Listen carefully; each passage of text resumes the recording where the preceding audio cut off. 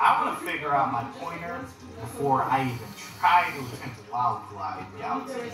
So, uh, yeah, that wraps up for this video. So thank you all so much for watching. If you did enjoy